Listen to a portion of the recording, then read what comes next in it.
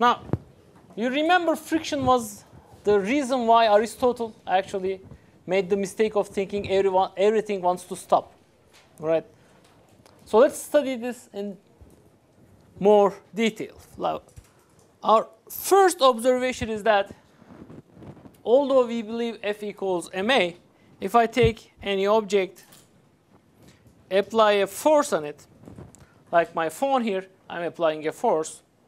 I can feel the force, but it's not moving. Okay. So there's a certain threshold until that point, although even when F is applied, M does not move. What does that mean? There must be another force which is preventing our motion. So there will be the friction force, which is actually preventing motion. Right? Now,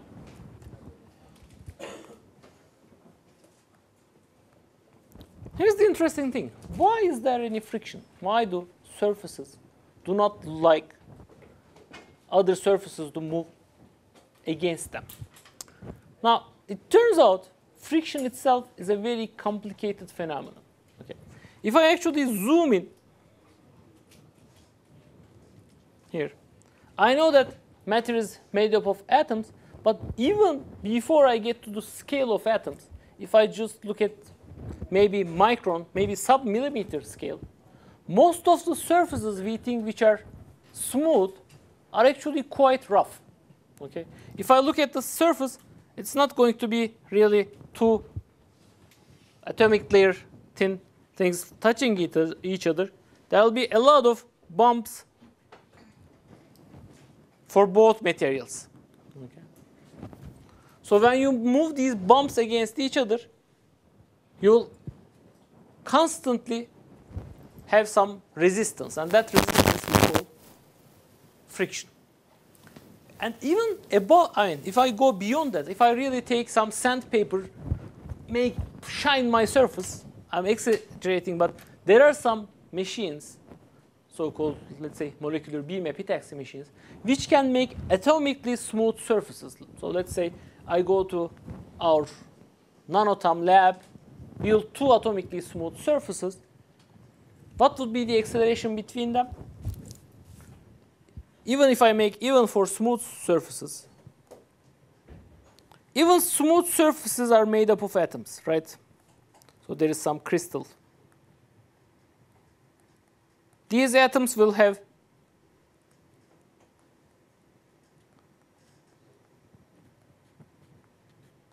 electrons outside them.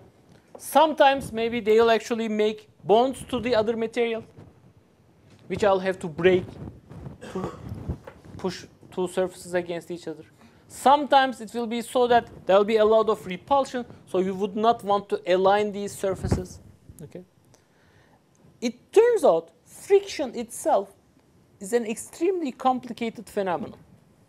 If you give me, or let's say uh, there are physicists who specialize in understanding properties of materials from an atomistic perspective, for example, if you go to Oğuz Gülseren or Salim Çıracı in our department, you tell them, hey, I have this material made up of carbon, boron, and aluminum with the following concentration. He can tell you what kind of lattice it will form, where the atoms will be in your solid. He can tell you whether it's going to be a metal or an insulator. He can tell you if it's going to be a good heat conductor or a poor heat conductor. Okay. So those are the things we can, by using large computers, we can actually calculate. We understand their basis very well. We know how electricity is conducted through solids. But we cannot predict how much friction there will be between two surfaces from an atomistic perspective. It's a very complicated thing. Okay, There is a whole science called tribology which studies what kind of friction you get between two surfaces. So what happens in science? I mean, this is a really complicated thing. It depends a lot of detail of the system. Should we just give up trying to understand friction? Certainly not. Okay. What we do is we model. We put in a model which actually tells us about this surface friction. And the model, it turns out, works beautifully. For most of the experiments you can do in a usual lab. I mean, uh, if you talk to mechanical engineers, they really like this model. There are very few excep exceptions. And what's our model? Here is a simple model for surface friction. First of all, there are two kinds of friction, we'll say. Okay. First is static friction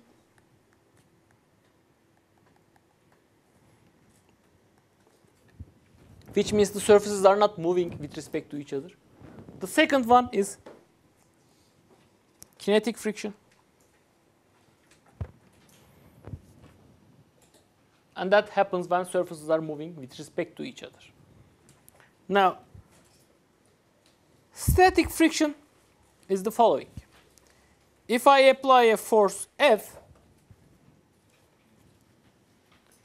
it's exactly opposed by F friction. So F plus F friction is 0, which means no motion. Okay? So these two surfaces are not moving with respect to each other. But here is the thing. You cannot cancel in all the forces by static friction. There is an upper limit to static friction force. Static friction force magnitude must always be smaller or equal to what we call mu static times the normal force between the surfaces and this is called the coefficient of static friction. Okay? Let me give my definitions first and then we'll solve examples. How about kinetic friction? In kinetic friction, you already know that the surfaces are moving with respect to each other. So there is some velocity v of this mass with respect to the surface. Here, friction force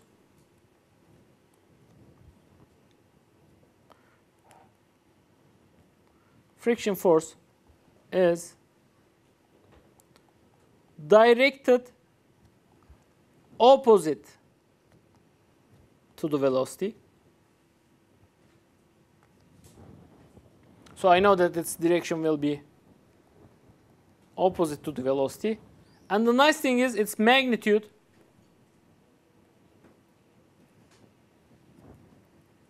is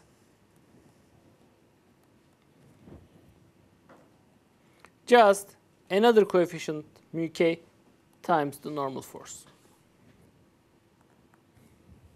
And normal force between the surfaces. Okay. And this mu k is called coefficient of kinetic friction. Now, generally,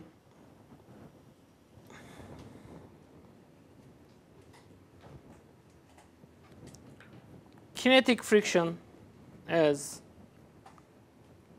less or equal to the static friction which is a value less than 1. I'm saying generally because you can imagine very different kinds of surfaces for which, uh, for example, there are some surfaces which react to each other. There are a lot of you here in chemistry. If I take ice, you know, water ice, put sodium on top, instead of seeing friction, I would actually see a reaction, okay? And the, the, the, that, that would be very strange thing to do.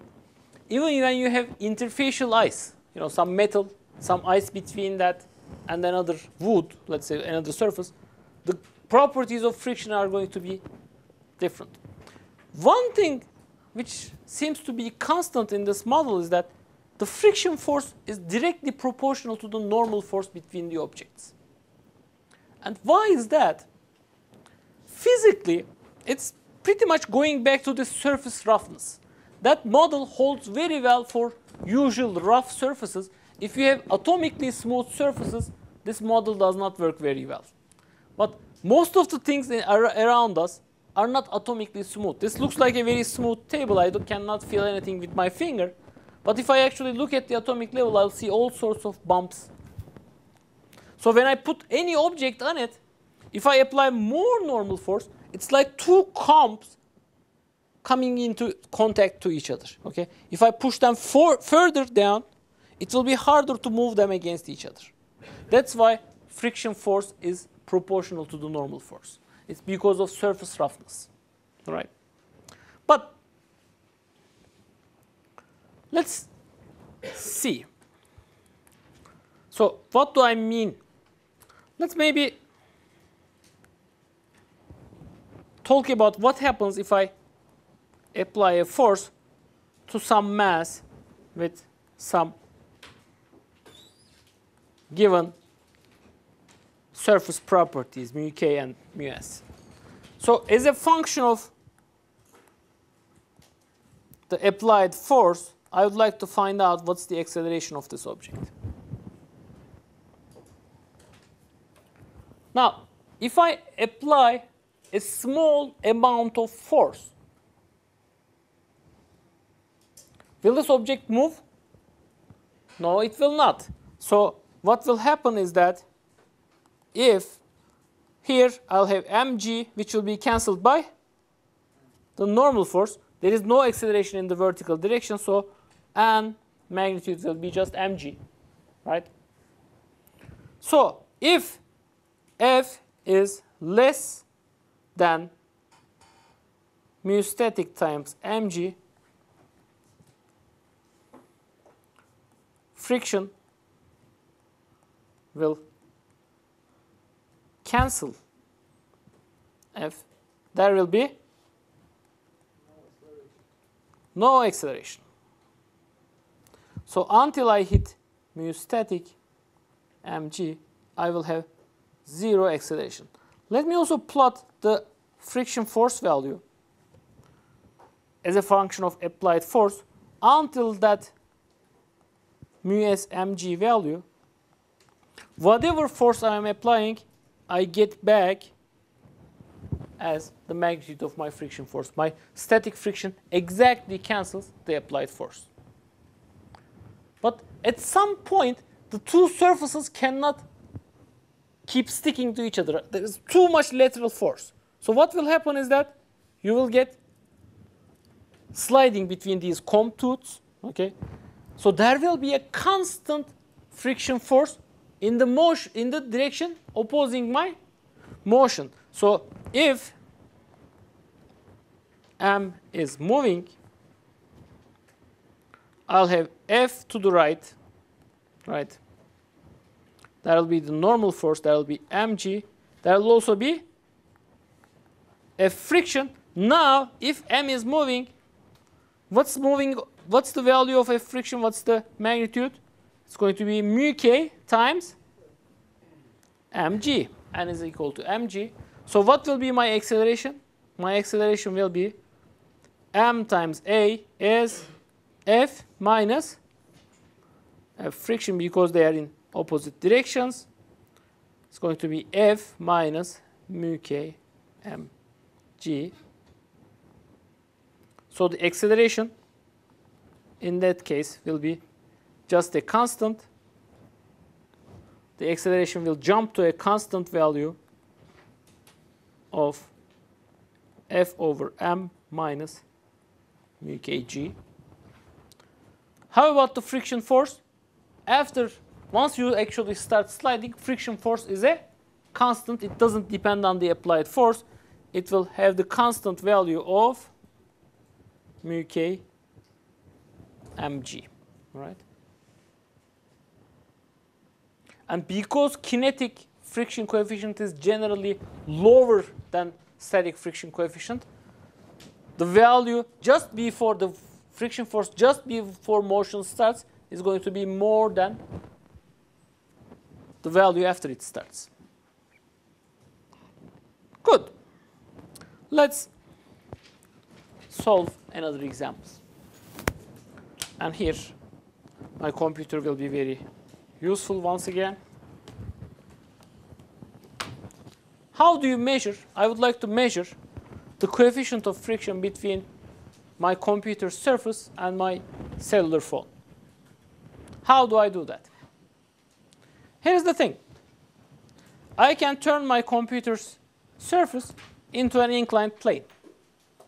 When the angle is very small, there is no sliding. I increase the angle. There is still no sliding. Still no sliding. At some critical angle, let me make it more dramatic. There is no sliding until I hit some critical angle for which sliding be starts. I think half of the class could not see that. So let's do it again. So there is a critical angle after which sliding starts. So I would like to find out what's the critical angle which gives me that sliding behavior. Okay? So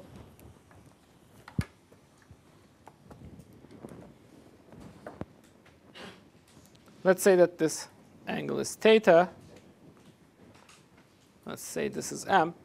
And I'd like to give you the coefficient of static friction. Find the critical angle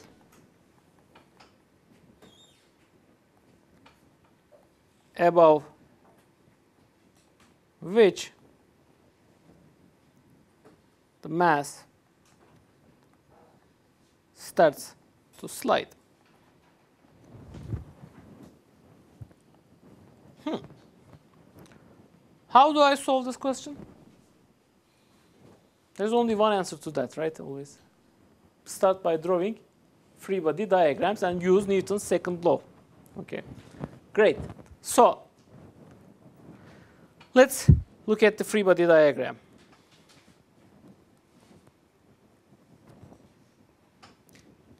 I have mg.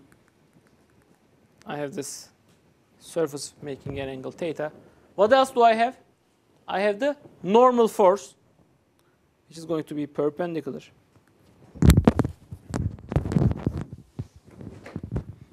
And what else? There is friction. Which way is the static friction acting? First of all, first rule, friction only acts parallel to the surface it's applying it. There is no component of friction normal to the surface. That would be, actually, if you put some glue, if you actually stick two surfaces to each other, that would be, that would have a other component. But otherwise, your normal force is perpendicular to the surface. Your friction force is parallel to the surface. And here, static friction is trying to oppose the motion, right? So if there was no friction, this mass would slide down the incline, which means friction must, force must be applied, or friction force is acting towards up the incline, a friction. Hmm. So if there is no motion here, right? That's what I want to find out. If there is no motion here, there is no acceleration in any axis. So I can analyze this system along any two axes I want. So I'll actually do that. I'm going to take the components of this angle is going to be theta, right? I'm going to take the components of mg. This is going to be mg cosine theta and other component is mg sine theta. So there is no motion. A is 0 as a vector, which means n must balance with mg cosine theta and F friction must balance with mg sine theta. But here is the thing. Whenever I write static friction force, I must always keep in mind there is an upper limit to that force. It cannot become infinitely great. Okay? What is the upper limit? The upper limit I need to satisfy is that F friction magnitude must be smaller or equal to mu s times the normal force. Right? So now I can plug in both the value for F friction must be equal to mg sine theta and here I have mu s times mg cosine theta. mg is cancelled. So tangent theta might, must be less than mu s. So if the tangent of the angle of my inclined plane is larger than coefficient of static friction, then this object will start to slide. So this is actually a very, very easy way to measure coefficient of static friction. Okay, You take an object, you take two objects, turn one of them into an inclined plane. I think that's, well, okay. You turn them, one of them into an inclined plane, find the angle. Now I'm past the critical angle, so my phone is sliding down. Okay? And at that angle, the tangent of the incline is exactly the coefficient of static friction. Okay? Good. So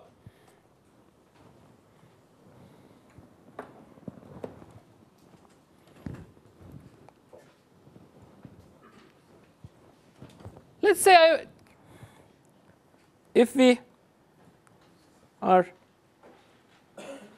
above that angle, what is the acceleration?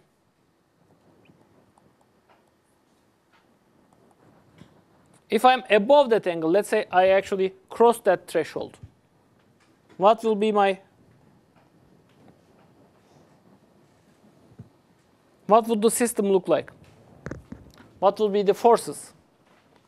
I'll again have mg. I'll again have a friction. And I'll have the normal force. But now I am actually sure of what's the magnitude of friction force. Why?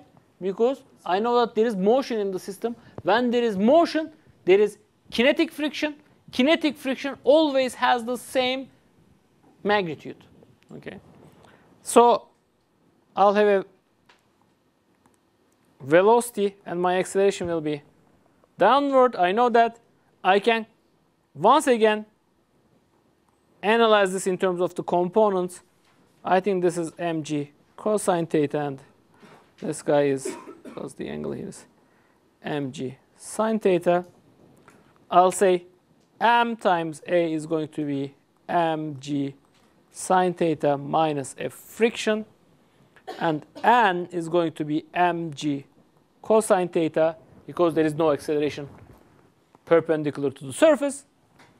But now I don't actually have to think, I don't have to calculate the value of f friction. I know what it's going to be. It's just going to be equal to mu kinetic times n, right? So F friction is apparently mu kinetic times mg cosine theta. Now I can actually plug everything in. Ma is mg sine theta minus mu k mg cosine theta. A m's cancelled is g sine theta minus mu k cosine theta. Does it make sense let's talk about dimensions again. What are the units for mu k and mu s? Well, it relates normal force to the friction force. So they have no units. They are unitless. That's good. Because I compared it to tangent theta. I said by just looking at tangent theta, you can measure it. Okay. There is no problem. Good. How about the, this answer? Does it make sense? Well, it does make sense because if G is larger, I expect A to be larger. Unit-wise, A is meter per second square. On the right-hand side, sine theta, mu k or cosine theta does not have any units. The unit of G is meter per second square, so that's also fine. And furthermore, I know that sine theta minus mu s cosine theta must be larger than 0, right? But what was our condition here? Tangent theta must be smaller. And if I'm above that angle, then tangent theta is larger than mu s. I can write that tangent theta is larger than mu s. That was my sliding condition. And mu s is larger than mu k, which means sine theta minus mu k cosine theta is larger than 0. So my acceleration is always downward. It's in the down direction. Okay? Any questions? Let's solve one more example.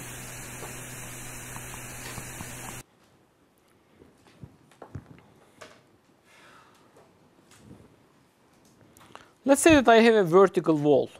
So G is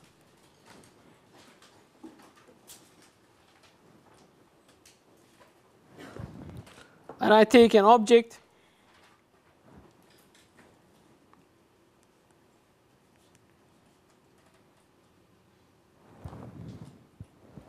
of mass m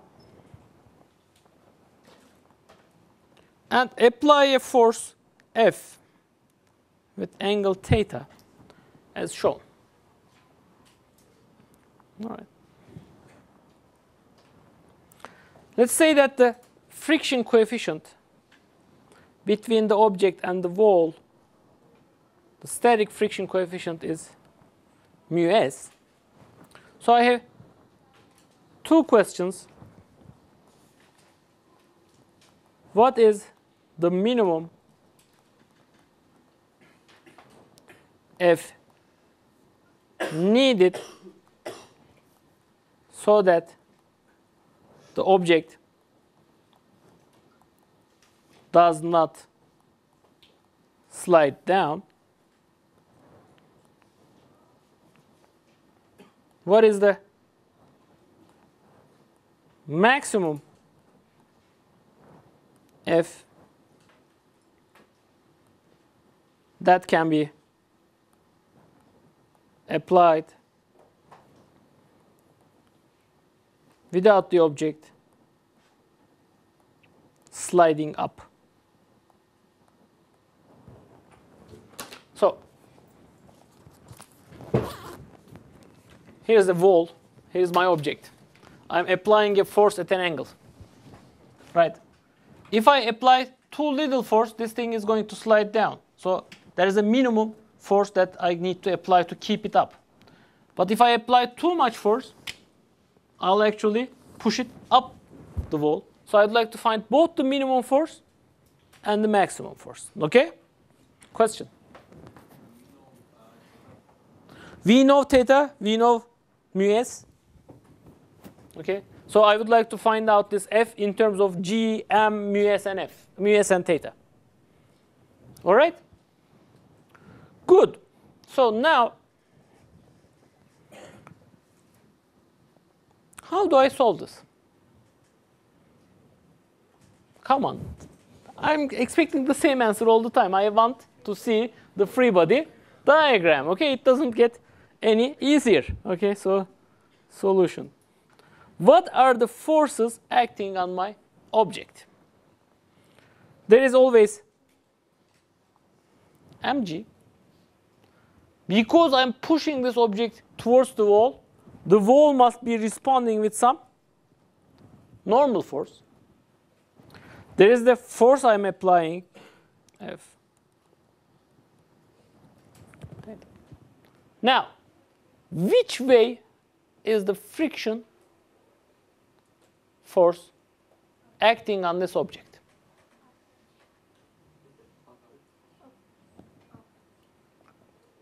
It depends on my force, right?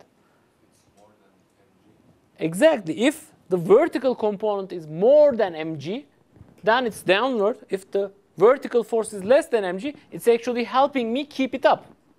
Okay? So if I am to find minimum F,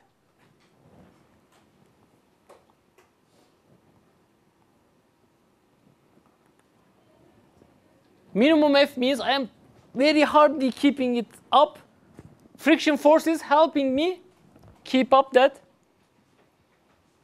book. So to find minimum F, I will assume that F friction is F friction is acting up. So let's quickly analyze the system. This is a static system. This x component is going to be f cosine theta. Y component is going to be f sine theta.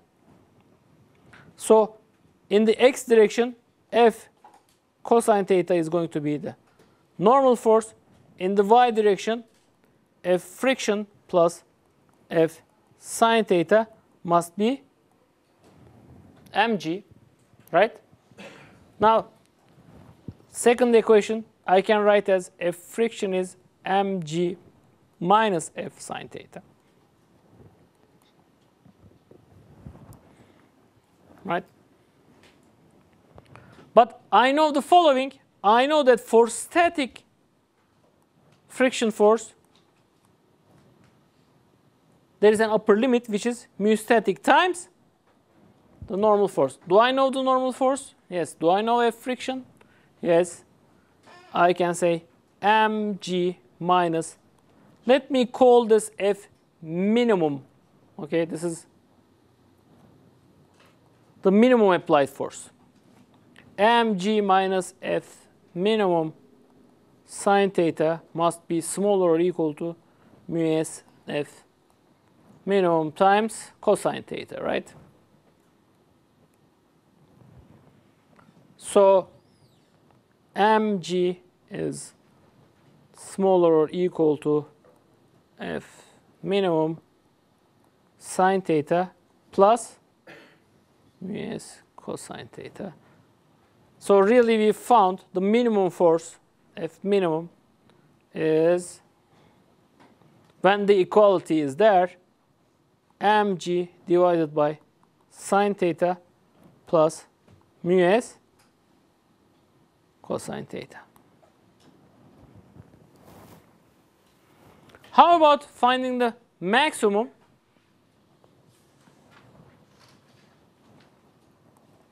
for the max force?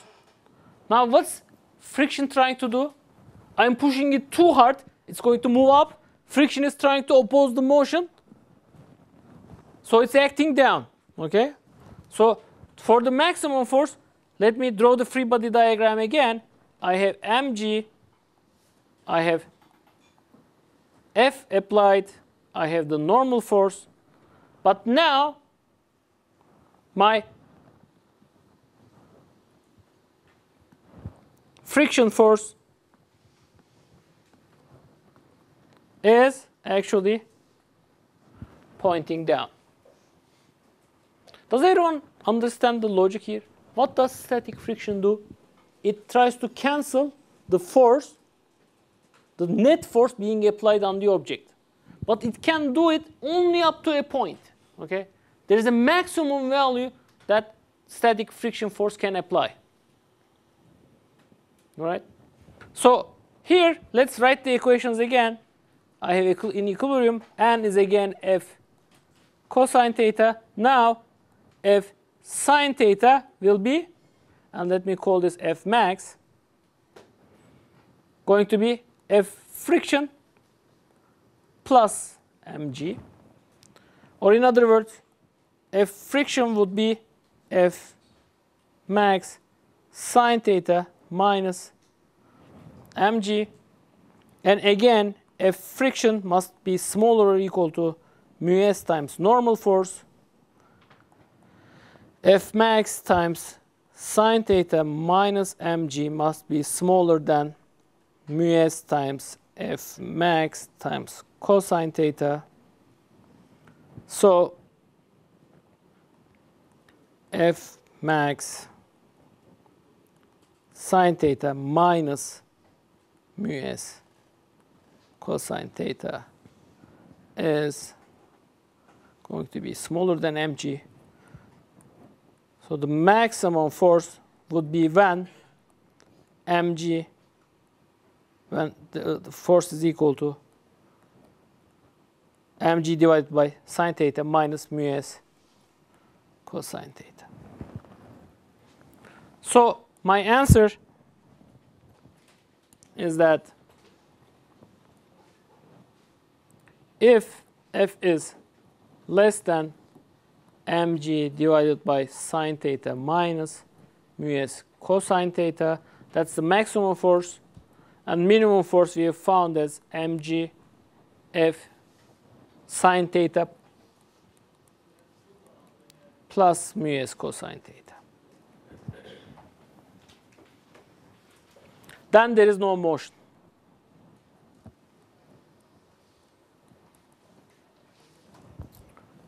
Now, did I reach my goal? What was my goal? My goal was to find the maximum, max maximum force and minimum force so that the object doesn't move along the wall.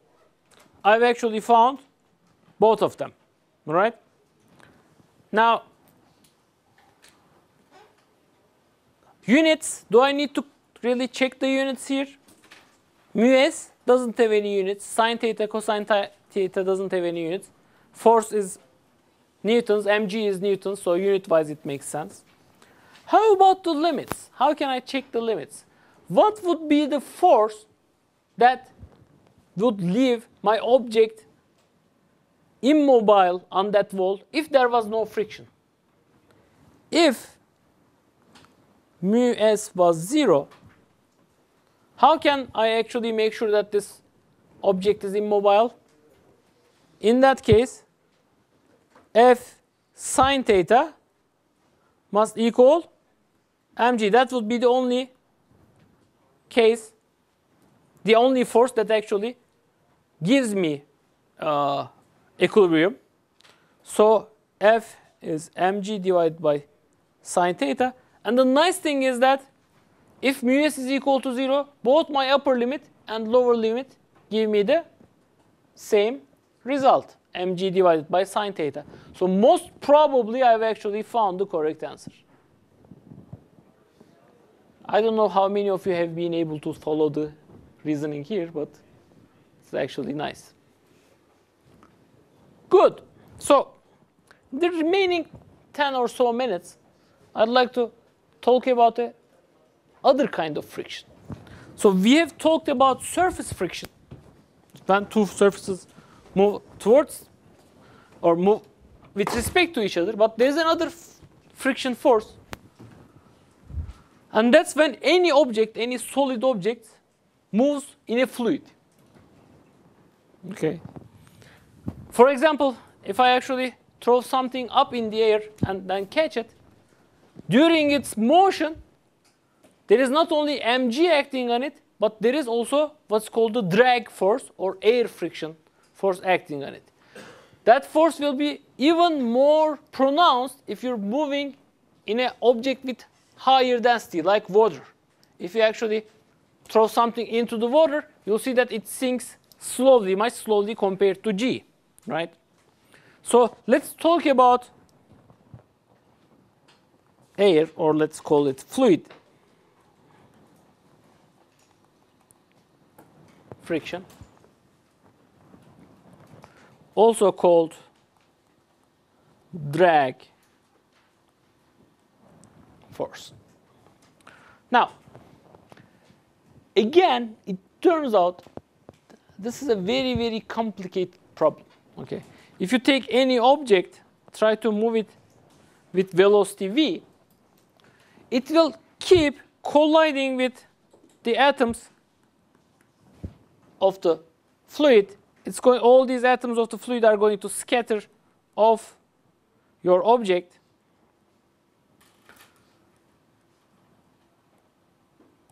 So in general, you will see some drag force F drag is opposite to the velocity. But actually, motion in a fluid is a very complicated phenomenon. You'll not only have this drag force opposing your velocity, you may also have lateral forces. You may have a force which is actually up or down. Okay. Actually, this is how airplanes stay afloat. Okay. When you're moving with velocity v with a wing, there is always an upward force because somehow more molecules are, will hit the airplane wing from below than from up. So again, this is extremely complicated. It depends on the temperature of the fluid you're in.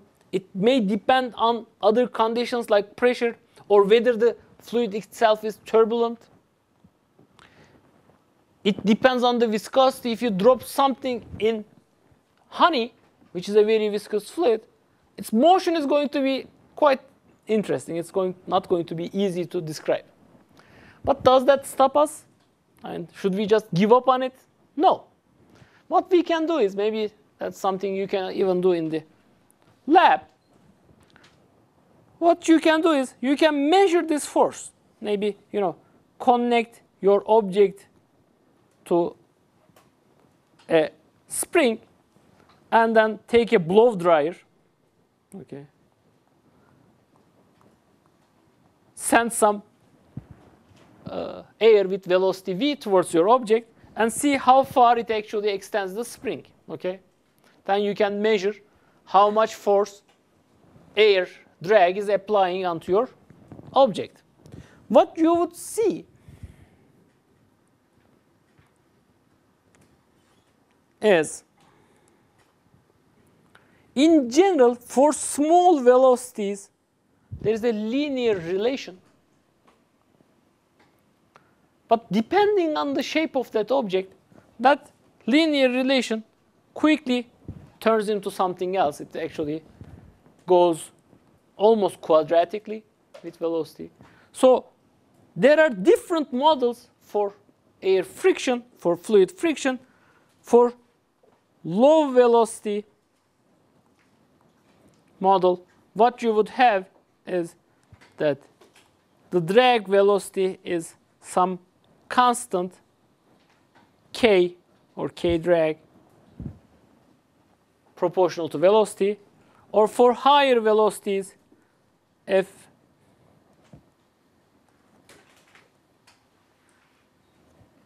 is some coefficient. Let me call it gamma let me use a different notation gamma times v square So two different models. But yes, here in the second case, I just gave the magnitude. I did not tell you what direction is. Okay, the direction is always opposing the velocity. Now, in practice, what does that mean? Let's take the simpler model. Let's talk about the low velocity model and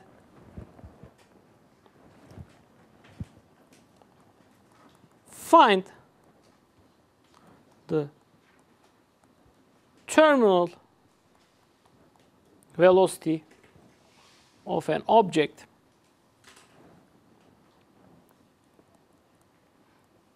Dropped in a fluid with coefficient kd. So here's the thing. I take a mass in air and I'm just dropping it. Okay.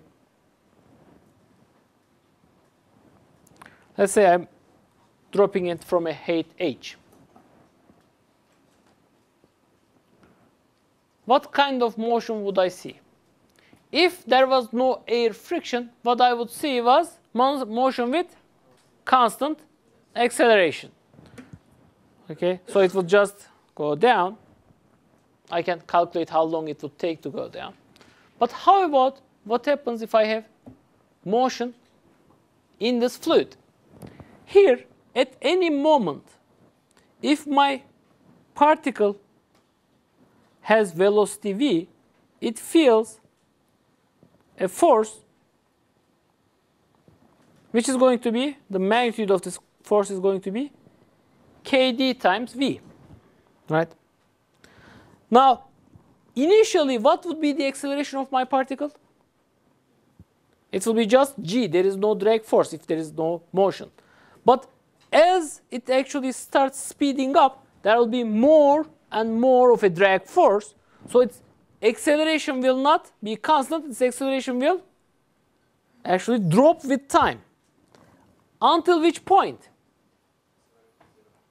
Until when acceleration is actually exactly zero. And that's called the terminal velocity, limiting velocity point, okay? So let's write Newton's equations. Let's see here. I have, let's say my acceleration is down. m times a is going to be mg minus kd times v. Right? Now, here's what I'll do.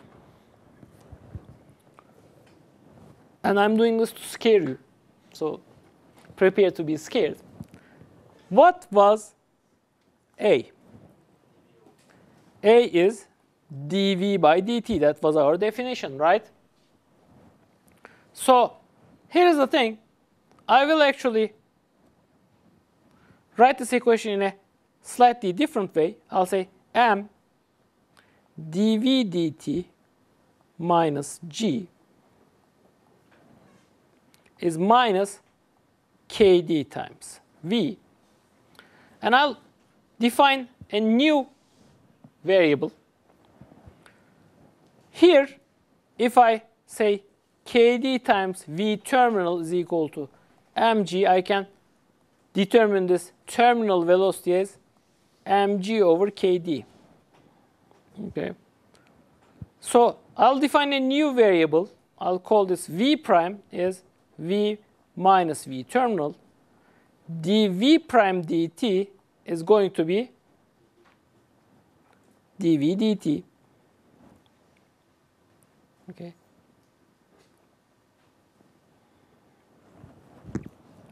So let's actually do that. Let me write this as m dv prime dt is mg minus kd times, what was v? v is v prime plus v terminal. Prime plus v terminal. Going to be mg minus kd v prime minus kd v terminal I've just calculated to be mg over kd. kd is cancelled, mg is cancelled. I have the following dv prime dt is minus kd over m v prime. Now I'm scaring you.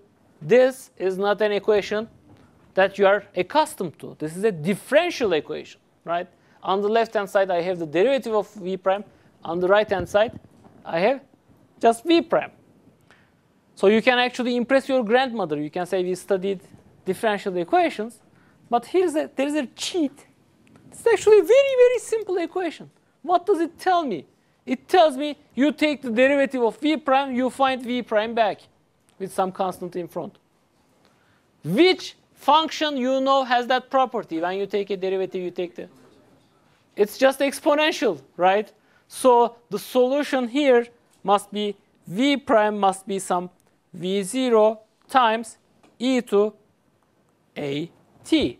If I take dv dt, I would find a v0 e to a t. So let's plug these in.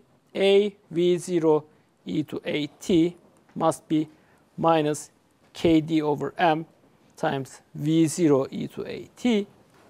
Those cancels. So what I find is that v prime is v0 e to minus kd over m times t. So what does your velocity look like as a function of time? If there was no air friction, your velocity would just keep increasing linearly, right? Then v would be just g times t. When there is friction, what happens? There is a limiting velocity, the terminal velocity. So you actually go towards that velocity exponentially, okay? Which means you actually never quite get there, but you get very, very close to that terminal velocity, all right? And the terminal velocity, this constant kd, depends on a lot of details. Skydivers know how to manipulate this very well. If you have a large area, KD is very large, so when you open up your parachute, you actually slow down considerably. Your uh, terminal velocity becomes something non-lethal. You can actually drop onto the ground without breaking a bone. All right. That's all I want to talk about the uh, friction force. We have looked at circular motion, friction, and air friction today. All of these are included in the exam. So in two days' time, when we meet again, in three days, in Thursday, I'll do a review and I'll try to solve as many questions as possible. Okay? See you in three days.